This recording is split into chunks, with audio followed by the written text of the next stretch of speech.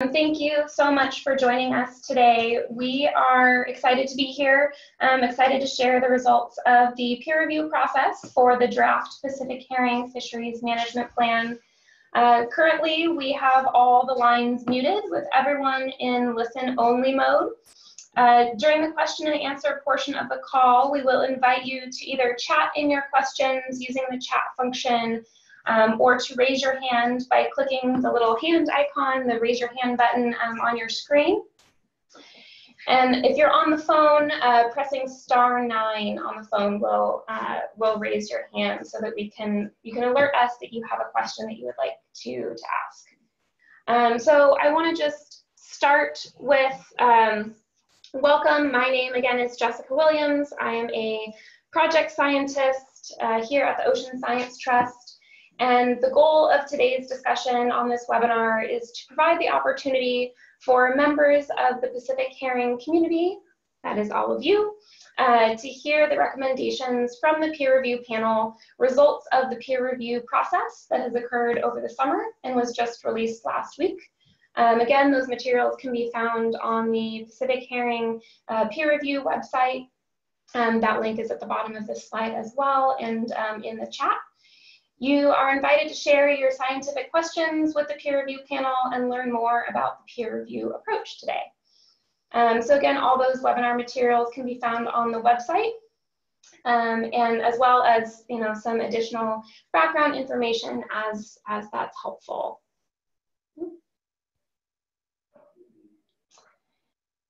So today's webinar is scheduled for one hour. Uh, we will conclude right at 2 p.m.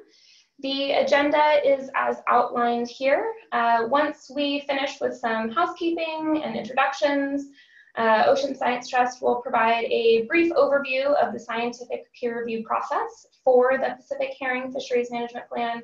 Uh, and the purpose for today's webinar, as I mentioned, um, to provide that opportunity uh, to hear those recommendations and ask uh, those clarifying and scientific-based questions.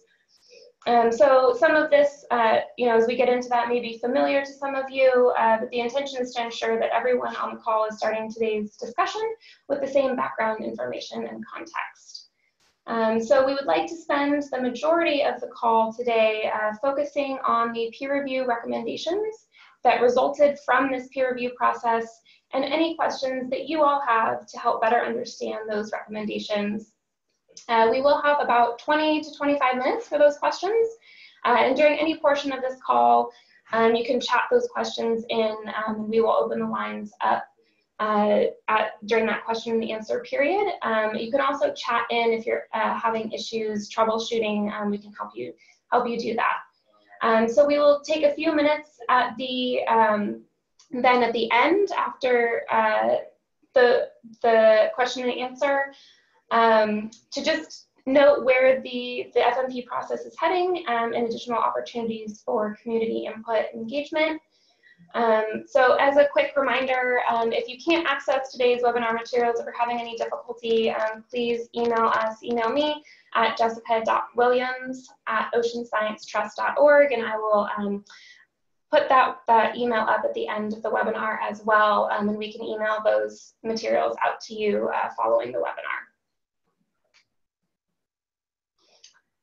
Um, so during the uh, question and answer portion of the call, um, we request that person limit their questions uh, so that we can be sure that everyone has an opportunity to be heard.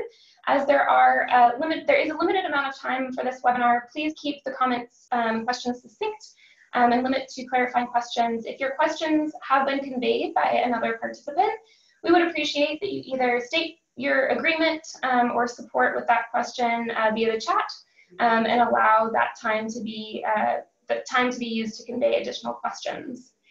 Uh, when you do speak to ask a question, um, we ask that you state your name so that we can speak to you directly. This sets just a more personal tone. We would really love that. And we're going to try to keep this uh, conversation um, as orderly as possible and try to get to as many questions as we can during this time. Um, this is an opportunity to ask those questions, um, but being mindful that time is limited. If we are not able to, to get to your question due to time restrictions, or technical issues that we, we don't hope happen, um, that is always a possibility during, during webinars, um, please submit those questions to, to me at that email address that I will uh, link at the end of the webinar, um, and we can work to follow up with you as, as helpful. Um, so in order to, to continue and have a productive information exchange today, we just do ask that everyone on the call um, participate with the following guidelines, uh, the recommend or agreements in mind.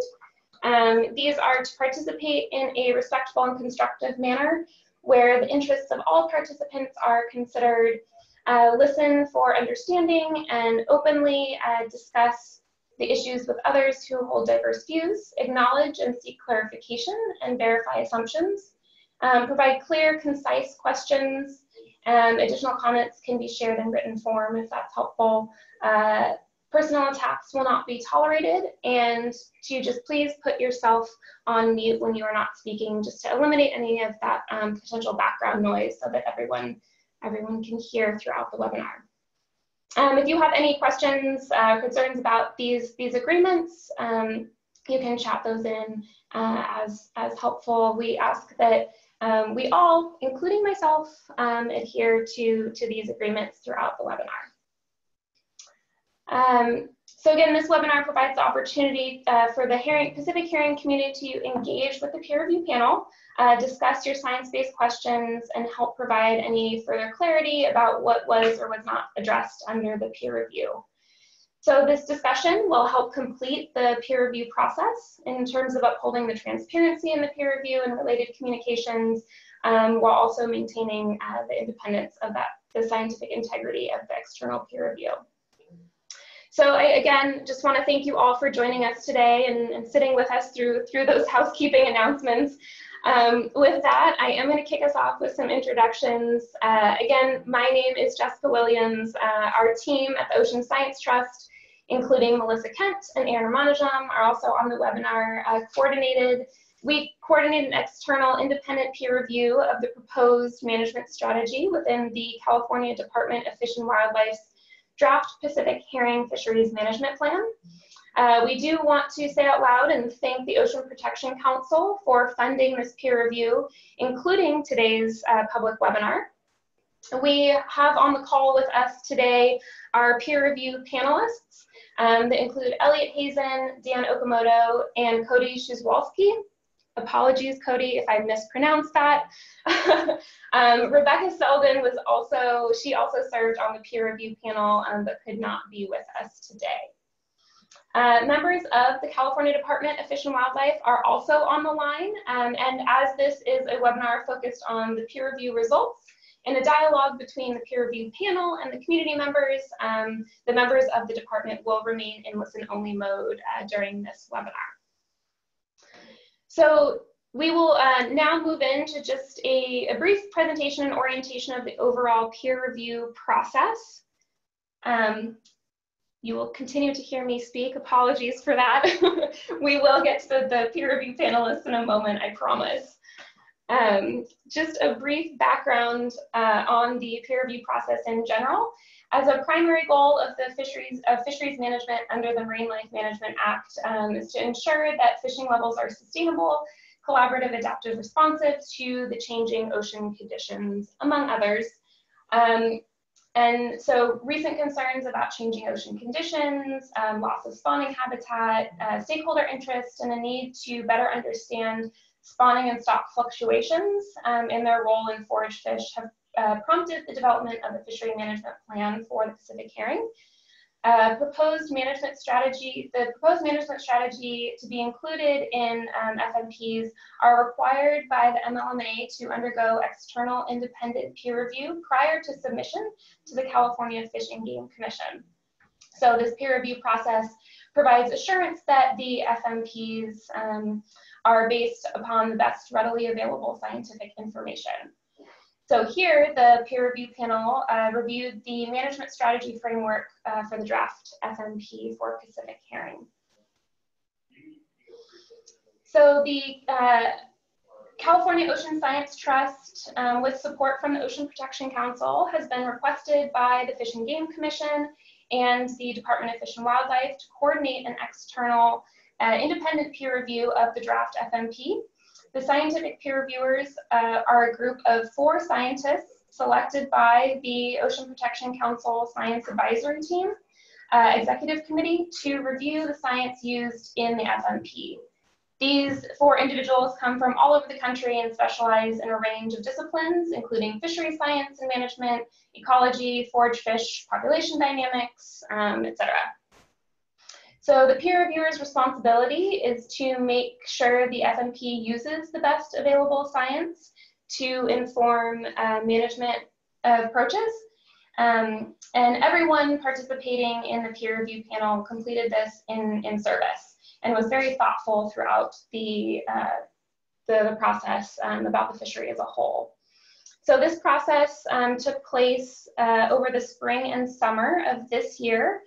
Uh, the OPC Science Advisory Team uh, peer review panelists were selected um, and the scope and process uh, guidelines were developed. Um, and then as we received the draft fisheries management plan, uh, they began their, their review um, throughout the summer.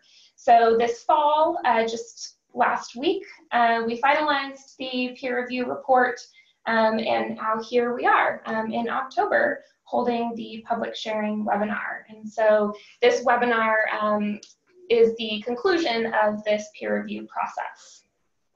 So I will stop monologuing. I will stop talking um, and pause there and see if there are any clarifying questions on the process as a whole before we move on.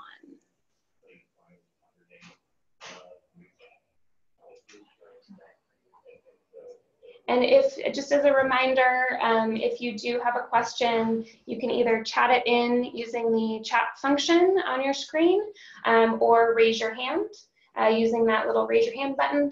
Um, that will alert us that you have a question. If you are on the phone, um, star nine should, should raise your hand.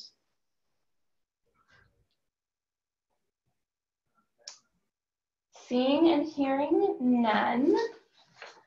Um, great.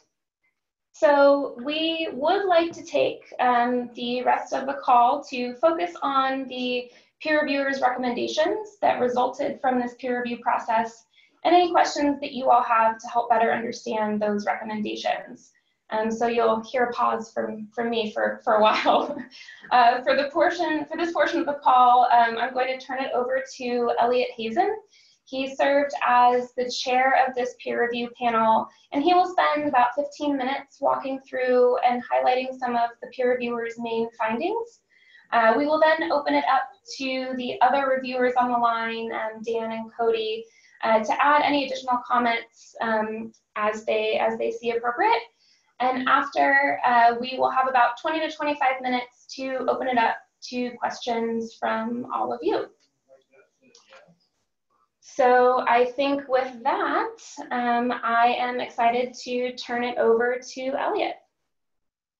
Hi, everyone. Hopefully you can still hear me. I wanted to first just thank the uh, sheer impressive amount of work by the department, CDFW there, the Pacific Herring Steering Committee, other stakeholders involved, and outside experts, including the Farallon Institute, that put in so much effort towards this FMP that you know we reviewed. And overall, we felt that it really was an impressive effort towards building a predictive spawning stock biomass model. And in addition, and probably equally so, moving towards incorporating ecosystem conditions. That's not an easy task, but the fact that this this um, fishery FMP is moving that way and in doing so is really encouraging um, you know, from a larger fisheries standpoint. So the overview of the recommendations will follow the structure that is laid out here, starting with the section one, the essential fishery information, uh, section two, evaluating the SSB thresholds and harvest rates, section three, evaluation of ecosystem indicators, um, four, science supporting additional conservation and management, and then five, future research and methods. So this is an overview, so I'm not going to talk about every individual, you know, kind of specific item, but I'll try to go quicker rather than slower so that we have more time for questions at the end. Uh, but please do look at the report if uh, there are things that I have not explained clearly here. So I think next slide. So starting with section one, the essential um, fisheries information. So the reviewer, the review panel found the representation of the existing literature on biology of the stock accurate, um, but there was a, a, few areas, or there were a few areas where clarification would be helpful and additional information, gap, information gaps could be filled. Uh, for example, higher resolution information on fecundity would be important, um, and more clarity on the structure of the stock over space and time, and how that's explicitly considered in the management. The one other point I feel needs to be made strongly here is that it is of utmost importance to um, to the review panel to continue these recruitment or the young of the year surveys because they are a key piece of this improved uh, predictive model to estimate spawning stock biomass, which was kind of the focus or which was the focus of the review here. Um, I think we can go to the next slide. So now for section two, the evaluation of SSB thresholds and harvest rates. Um, overall, the, we found that the proposed spawning stock, predictive spawning stock biomass model and harvest control rule for setting quota was a significant improvement over the previous methods for a few reasons. One is simply it does a better job predicting SSB. Two, by including the recruitment or YOY, it provides valuable information on kind of year class strength that uh, biomass estimate alone does not. And often, if you just look at the time series of herring biomass, assuming the current year will be like the previous year is a pretty poor predictive strategy when temporal autocorrelation is low. Then finally, the more accurate predictions resulting from this proposed SSB would reduce the likelihood of either over or under exploiting the stock.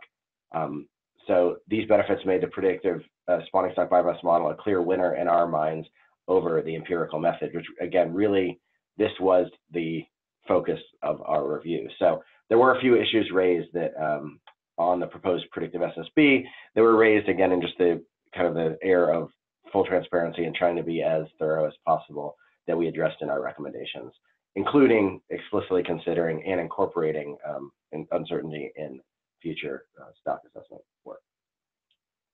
So the other point here is that just developing a stock assessment would also allow a more a framework for managers to ask more complicated questions about changes in management. And the point just came up that you know stock assessments aren't perfect, uh, often aren't perfect on the first try. So just because there have been hiccups or problems along the way, we did not want to discourage the process of developing a stock assessment moving forward as well. Okay, I think next slide then. Um, another part is the management strategy evaluation that we reviewed was focused entirely on the existing um, spawning stock biomass rule, did not incorporate the predictive model, it did not have economic impacts of closures, and nor did it have the uh, ecosystem considerations. So we did suggest that further research be done to kind of expand the MSE to include all of those components um, moving forward. Next slide, I think. So now for section three, the ecosystem indicators. Um, the review panel felt very strongly that the ecosystem indicator section is both quite forward-looking and useful in understanding what is affecting the broader ecosystem, and again, recognize the immense amount of work that went into developing these ecosystem um, indicators. So we were really encouraged to see that. There aren't many examples of where ecosystem indicators are directly used in management, and we, as a review panel, felt that this um, FMP had the potential to kind of lead the way, both for the state of California and even more broadly for how ecosystem indicators could be used in management. Although more work needed um, was mentioned would be very helpful in linking how the specific rationale for the ecosystem indicators would result in direct kind of management changes. And there are plenty of examples of kind of where this has been done, things like the department working on the ramp, um, other kind of yellow, red, green scoring criteria that are described um, in detail in the review document as well. The, in addition, the, you know, we understand that a lot of these ecosystem indicators do not have direct mechanistic linkages, but just coming up with some more quantitative thresholds um, and looking historically to make sure that if you incorporate ecosystem indicators in adjusting the quota, would that have an adverse impact on the fishery? And then um, basically doing that would provide more kind of basis to make sure that these ecosystem indicators are performing as the department and the steering committee would like them to perform. So it's really important to mention we're not suggesting um, throwing them out in any way, shape, or form. What we are suggesting is we really want to see them better linked to the management decisions and incorporated uh, in, you know, in the FMP moving forward to manage basically fisheries in a more holistic way. Next slide. Um, also, section three here is to evaluate the harvest control rules corresponding to the proposed quota adjustments based on the ecosystem indicators.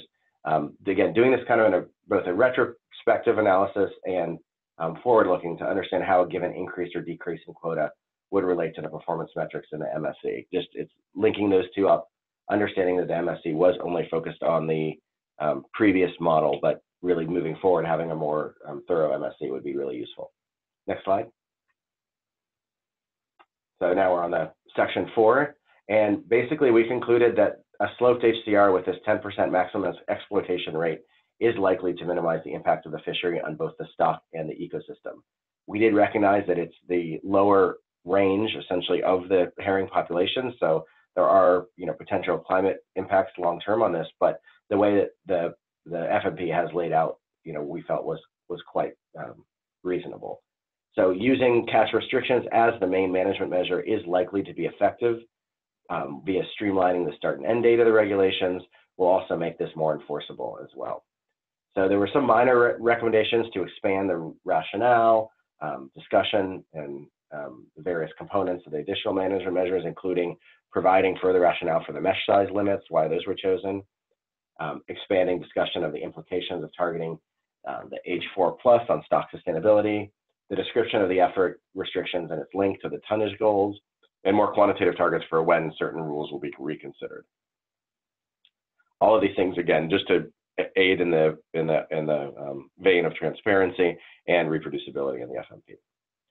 So last section five, um, the big thing here again, we're just repeating what I said earlier, but I don't think we can say this strongly enough. But the prioritizing sampling for recruitment is to move forward with a predictive SSB model.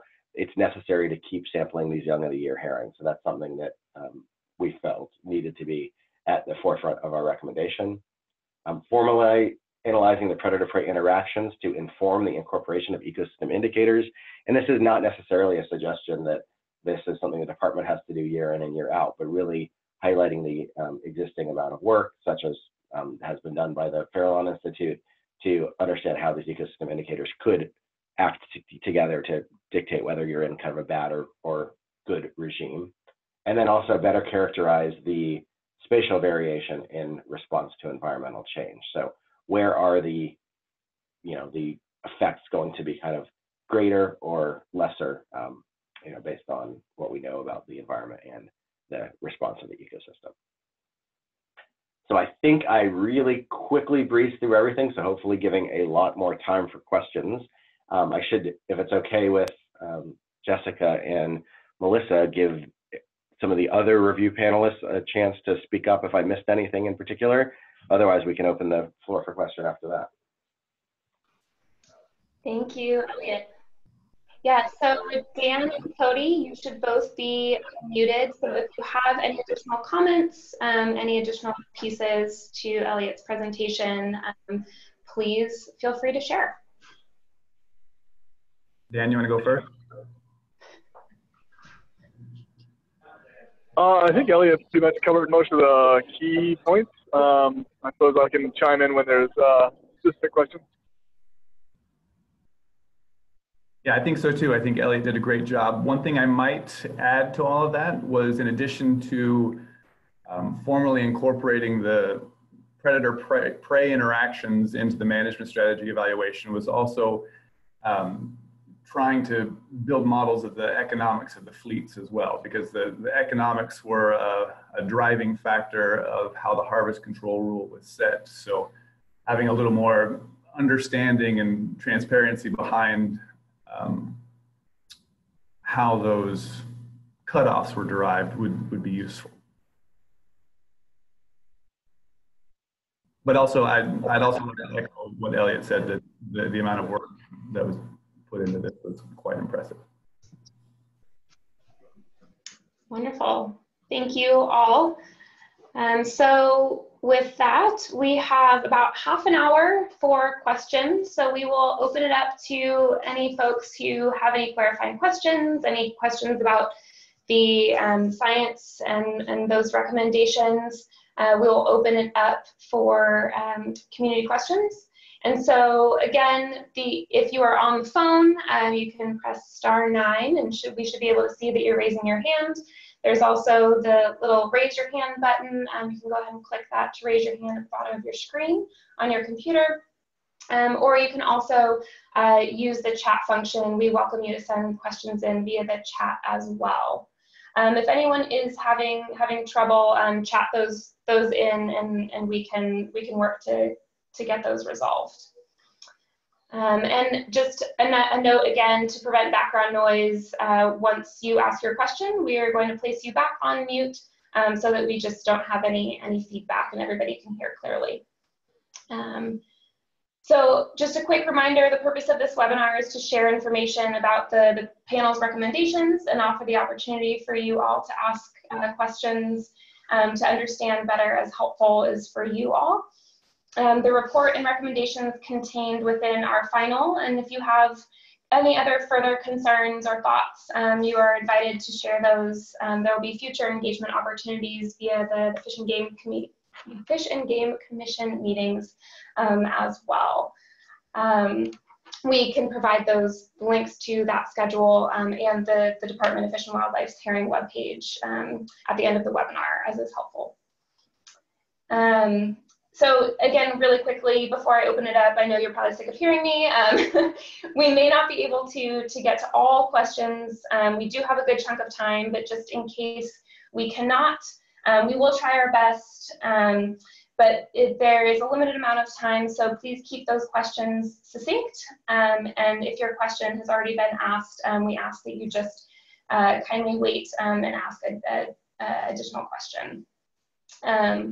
So when you speak again, please state your name so that we can we can speak directly to you. Um, we would really love to set that uh, personal tone and conversation.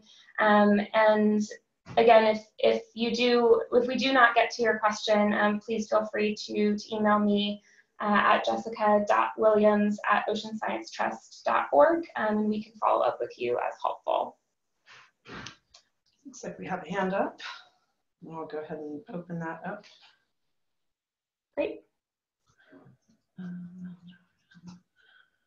well, let's see. I believe the hand up is uh, Geoff Shester, and it looks like you're using an older version of Zoom. Um, would it be possible, Geoff, for you to chat in your question? It's not allowing me to open it up, um, open it up for you to speak. Um, while we're figuring that out, I've got a, um, I've got a chat in from Marilyn Latta, and Marilyn asks, uh, forgive this very basic question. Is the draft FMP peer review report available online? Is there an additional public comment period on the final FMP? Yeah, so I, I will go ahead and, and take that question. Um, the draft fishery management plan um, is not available online at this moment. It was available to the reviewers for their review. Um, and it is my understanding that it will go through public comment. Um, but all, we invite all of those additional questions um, of that nature to be directed at Ryan Bartling, who is the environmental scientist at the Department of Fish and Wildlife. Um, for Pacific Herring, um, and I will share his email uh, at the at the end of the webinar as well to direct those process-based questions um, for for future uh, Department of Fish and uh, Wildlife and Fish and Game Commission uh, meetings and engagement opportunities.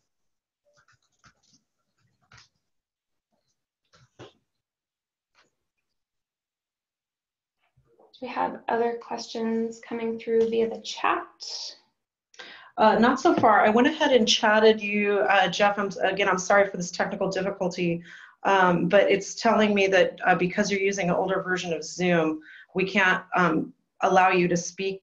Um, but if you called in on your telephone or cell phone, um, uh, we could probably uh, uh, get you to speak in that way. And again, if you'd like to chat in your question, um, we can do it that way as well.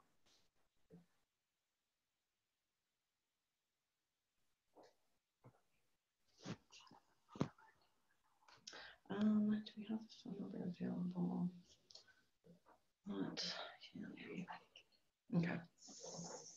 So And we'll put that phone number up again in just a second. I just didn't have that one thing handy, which I'll be chatting now. Appreciate everyone's patience with all of the technical um, pieces of running a webinar. Um, we will try our very, very best to get to everyone's questions. Um, hang tight with us for just a moment while we try to work out some of these te technical difficulties. Okay, Geoff, how was that? Uh, better, I guess. Am I echoing still?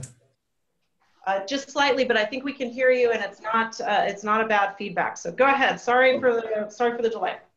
Okay, yeah. Th thanks for your patience with the technical difficulties. Um, so I'm I'm representing uh, Oceana as well as uh, representing Anna Weinstein from Audubon, uh, California. The, the, two of us uh, were among the uh, steering committee that worked on the fishery management plan. So wanted to start by thanking the, the peer reviewers and the, and the Ocean Science Trust for the, the helpful peer review. Appreciated the positive statements about the, particularly how the FMP seeks to, uh, to use ecosystem considerations in management. Um, I guess one, one of the difficulties I'll, that, that makes the peer review a little bit hard to interpret is that um, the, the inability for the public to actually see the documents that were reviewed, um, I guess just makes makes the uh, it makes it a bit more challenging, um, particularly um, because some of the uh, review comments seem to indicate that uh, some of the the FMP products that they were reviewing uh, were incomplete, um, and and so I guess um, just jumping to uh, maybe a question for, for Dr. Hazen as the chair of the panel. Um, on the ecosystem considerations part, where there was uh, certainly, I think, some positive statements as well as ways could be that could be improved.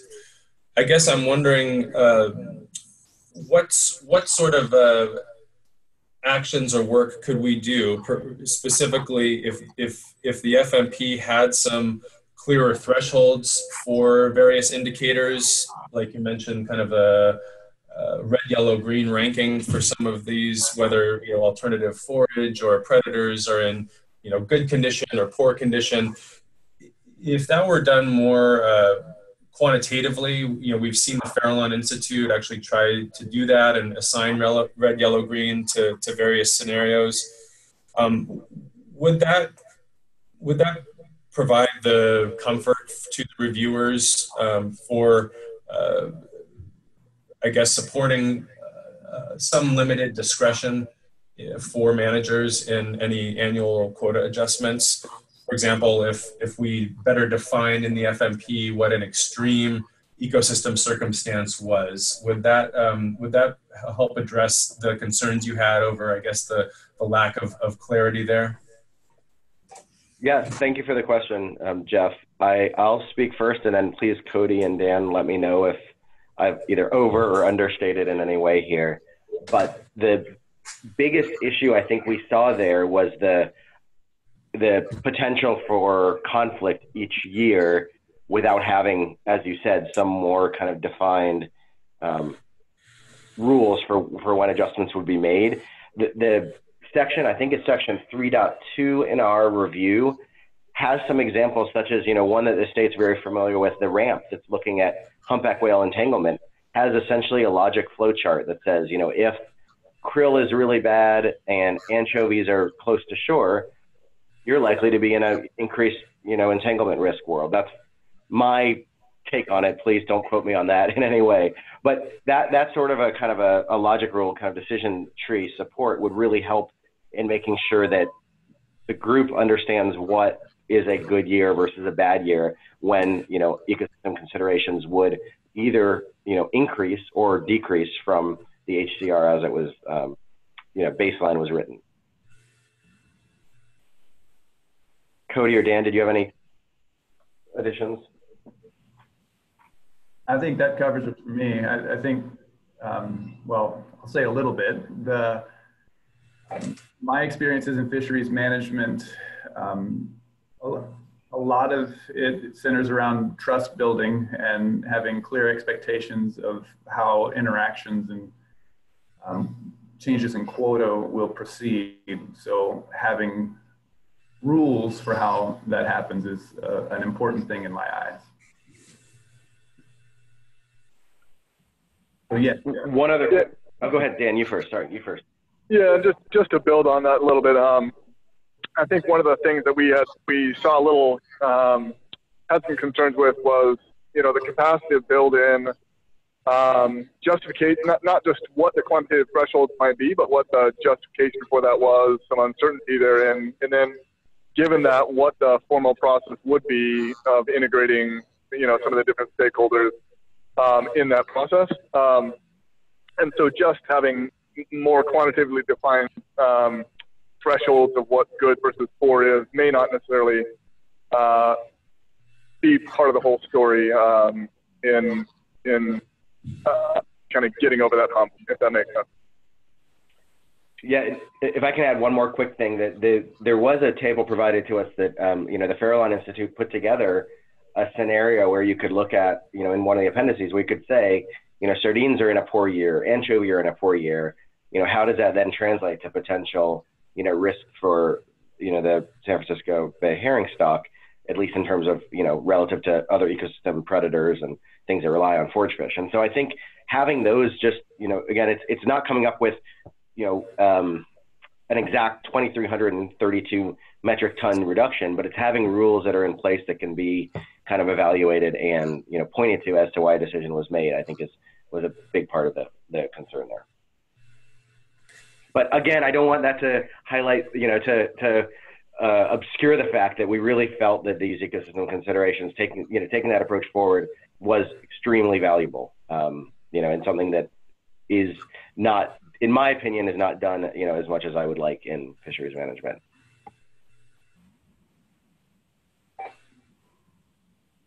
Great, thank you so much. And thank you, Geoff, for your question. Again, apologies for the technical difficulties and thanks for hanging with us. Do you have any other questions on the line?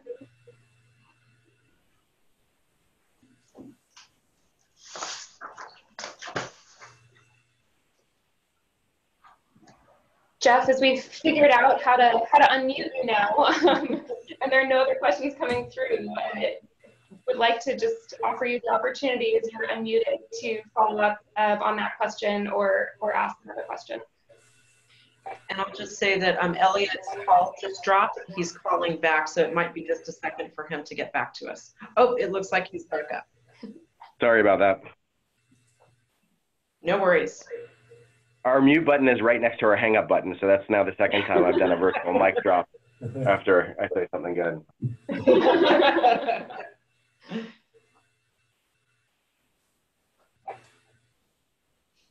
Yeah, well, I, I, I appreciated the helpful context there. I, I guess it, you know, what we, I think in the steering committee really attempted to do, um, and I think this gets to some of Cody and, and Dan's points. Um, the we were urged not to, uh, I, guess, put in hard and fast rules for exactly how much quotas would go up and down based on certain things. Like I think as Elliott was saying, you know, not, not a specific amount of quota change when certain things happen.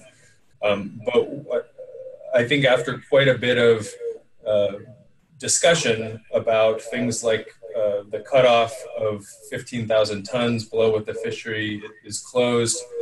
Um, you know, we had we struggled because the management strategy evaluation did not explicitly include these ecosystem uh, consideration elements, and so we appreciated that uh, peer review recommendation.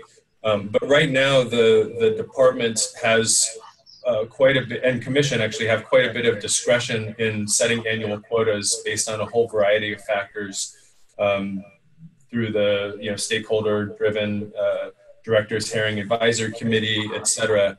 And so the you know, it sounds like um, the committee is not saying that that discretion should go away. It sounds like what I'm hearing is that there is just more uh, just clear guidance in terms of how far a quota might be adjusted, uh, et cetera. Because I think, at least from a stakeholder perspective, the FMP process has uh, built actually quite a, a bit of trust uh, among stakeholders uh, regarding a lot of these factors. And I think we were very um, encouraged to see um, I would say, a, a highly negotiated uh, compromise where the, harvest control rule was put in place explicitly, including this ability to have some discretion within some bounds. So the more uh, the, the more uh, guidance you could give us to um, you know, based on information that's already out there without having to do a whole nother set of analyses and contracts uh, it may just be a question of further clarifying some of that guidance. Um, but if there is anything that you can kind of provide us that uh, would help us kind of respond to the, the peer review so that we could actually still use some of those ecosystem considerations as originally intended, uh, I think that would be really helpful.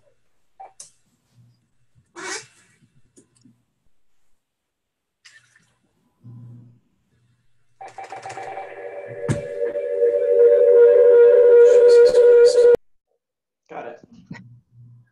Yeah, thank you, Geoff, so much for, for your thoughts. Um, we'll throw it to, to Elliott or the other reviewers if you have any follow-up um, to, to those comments. I really appreciate sharing all of that. Thank you. Yeah, I'm scrolling to the relevant section in the review right now, hopefully to find, to make sure I'm saying it correctly. But, you know, the Another stoplighting example that I can think of is regarding um, salmon returns and copepods that Bill Peterson at the Northwest Fishery Science Center has come out with. And they basically have a suite of indicators that get colored in this kind of yellow, green, red. And then you can either count up the number of indicators that are in a you know concerned state or take some sort of an average, you know, depending on you know the best metrics. But then that can give you a you know, I, I call them semi-quantitative, but we came up with that. We came with uh, had some issues with that term on our uh, on the review panel. But you know, it's it's a it can give you a at least a range of kind of whether you're in you know good or generally bad conditions and what that might mean for adjustments. So happy to um, you know come you know, mention a few more of those, but I think we have a few of those directly in the report, and that salmon one's another good one. The ramp I mentioned is another good one. Uh, PSA is another one, productivity susceptibility analyses provide this semi-quantitative scoring method as well, uh, where you can look at number of indicators that are low, medium, high, how that kind of maps onto an overall risk um, decision matrix.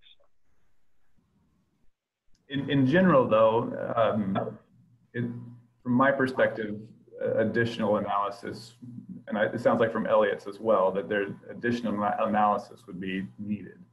There's not some overarching um, framework that's been developed that you can just drop into a system and say this is how we can do this. It's something that will take a it's an iterative process. It's great that you guys have it here at the, the base of your fisheries management plan. You've got it in in the beginning, but it'll need to be refined and honed, I think, as time goes on.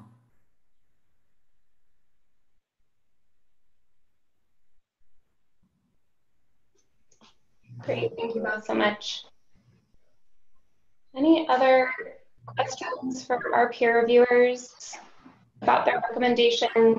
Any clarification that would be helpful to understand some of the recommendations that are found in the report and described here today?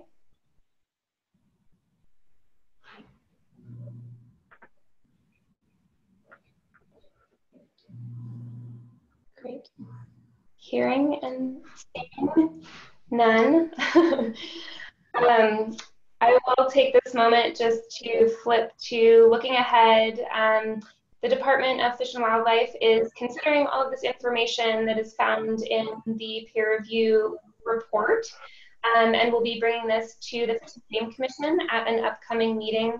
Um, so please check that uh, Department of Fish and Wildlife Pacific Herring webpage, which I have listed here on this resources slide um, as well as the Fish and Game Commission schedule website for more details on the timing of those upcoming meetings and further opportunities to engage um, with, with thoughts, questions, comments through that process. Um, I also have the Ocean Science Trust webpage here again, um, found several times throughout this presentation for additional information, as well as these resources, including this PowerPoint and um, today's agenda and some background information. Um, I will offer the opportunity for the reviewers to just have any final thoughts that they might want to share before we sign off today.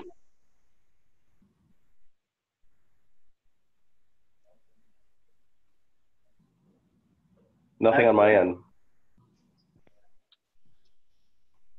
Well, Thank you all for for being here to to share those presentations um, and to participate in this conversation. Thank you, those of you who shared your questions.